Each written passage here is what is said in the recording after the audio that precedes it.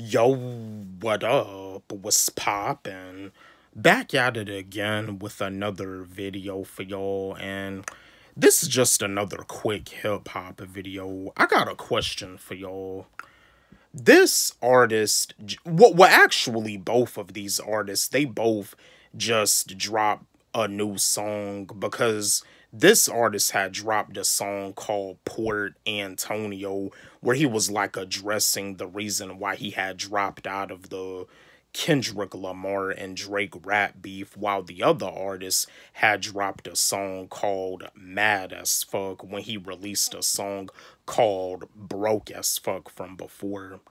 But the thing, uh, the thing that this artist had did was that he had did a song called "Old Niggas," which is over this artist's 1985 instrumental, where he was pretty much like like rapping from like a young man's perspective, like like a young man's perspective from like an OG.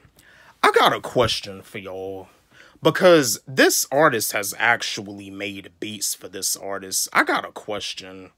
What if J. Cole signed Cordae to Dreamville while Cordae was on the come up? My fellow J. Cole fans, my fellow Cordae fans, let's have a discussion about this. Chat with me, engage with me, drop me a comment in the comment section. But what if J. Cole signed Cordae to Dreamville while Cordae was on the come up. I'm going to give you my answer like I do as always. Do I feel that it would have been dope if J. Cole signed Cordae to Dreamville? Yes. I feel that Cordae would definitely be a decent fit for Dreamville, being label mates with Cozz, being label mates with Jid, being label mates with Bas, being label mates with Earth Gang and Ari Lennox. Like Dreamville is is a record label full of dope artists, full of dope rappers.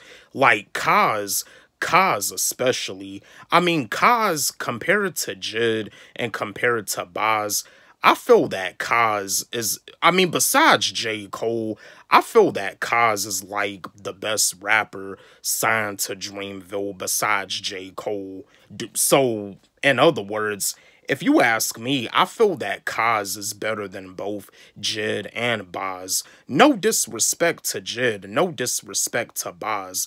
I love both of them. Both of them are phenomenal lyricists, but compared to a lyricist like Cozz, when you're working with a lyricist like Cozz, you really have to make sure that you don't get bodied on a song because if you listen to the song Knock the Hustle, um that that that he did with J. Cole because he did like a Knock the Hustle remix and J. Cole is featured on it.